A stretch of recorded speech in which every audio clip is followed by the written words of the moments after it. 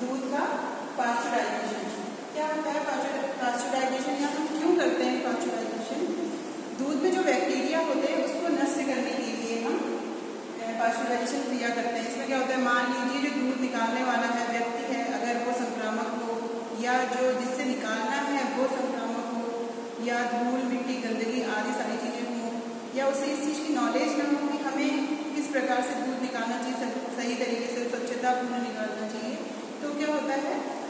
दूध क्या होता है? संदूषित हो जाता है। उसमें बैक्टीरिया हो जाते हैं या गंदगी हो जाती है तो उससे संदूषण को दूर करने के लिए हम पास्चुराइजेशन की क्रिया करते हैं।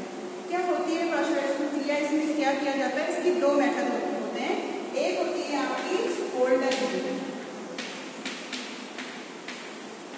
फोल्डर विधि में क्या करते हैं? जो दूध होता है, उसको 63 से 66 डिग्री सेल्सियस तक पहले गर्म करते हैं उच्च तापमान पर और उसके कुछ समय पश्चात आधे घंटे पश्चात ये जो 63 से 66 डिग्री सेल्सियस को हम गर्म करते हैं वो हाफ़ एन आवर के लिए करते हैं आधे घंटे के लिए और इसके पश्चात तुरंत ही आधे घंटे बाद 11 डिग्री सेंटीग्रेड पर उसको हम क्या कर देते हैं?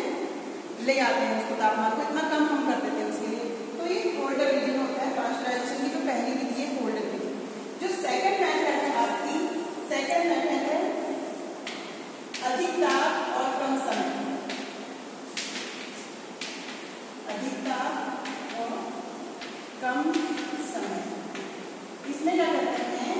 हम अधिक ताप में रखते हैं मिल्क को और उसके बाद थोड़ी देर तो से कम समय के लिए कम समय के लिए रखते हैं अधिक ताप पर फिर उसका तापमान हम कम कर देते हैं तो अधिक ताप पर हम उसे सेवेंटी टू डिग्री सेल्सियस पर रखते हैं और उसके बाद पंद्रह मिनट के पश्चात ही पंद्रह मिनट के पश्चात ही हम उसे कम ताप पे रख देते हैं उसको ग्यारह डिग्री तो ये क्या है अधिक ताप पर कम समय के लिए रखते हैं जो ऊपर आपकी गोल्डन मेथड थी उसमें हमने आधे घंटे के लिए रखा था लेकिन इसमें हम केवल पंद्रह मिनट के लिए रखते हैं पंद्रह मिनट के बाद उसे तुरंत हम कम तापमान में आते हैं तो ये था आपका पास्चुराइजेशन और क्यों किया जाता है ये? दूध में जो बैक्टीरिया होते हैं, उसके संदूषण को दूर करने के लिए।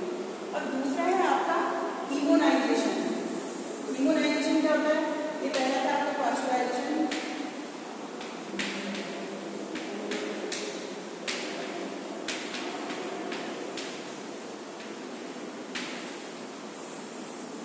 इमोनाइजेशन क्या होता है जो दूध होते हैं उसमें जो वसी अम्ल होते हैं वसी पदार्थ होता है वसा होती है ना फैट मिल्क मलाई करती है उसमें से घी बनाते हैं हम लोग। तो उसमें, उसके जो कण होते हैं, उसे सूक्ष्म करने के लिए छोटे छोटे कणों में विभाजित करने के लिए हम लोग इमोनाइजेशन की क्रिया की जाती है दूध में, जिसमें वसा के कणों को दूर किया जाता है छोटा किया जाता है, जिससे क्या है फैट की मात्रा, आप देखते हैं, जब मार्केट में मिल्क आता है तो अलग अलग आता है ना टोन मिल्क आता है, कम मसाला मिल्क आता है तो उन सबको अलग अलग उसमें गर्म करके इम्यूनाइजेशन की गई जाती है। तो उसमें क्या है पास्चुराइजेशन क्रिया क्यों की जाती है? बैक्टीरिया सर को बचाने के लिए संदूषित जो दूध है उसे बचाने के लिए बैक्टीरिया से और जो दूसरा आपका इम्यूनाइजेशन में किया जाता है। वसीय अम्ल को वसीय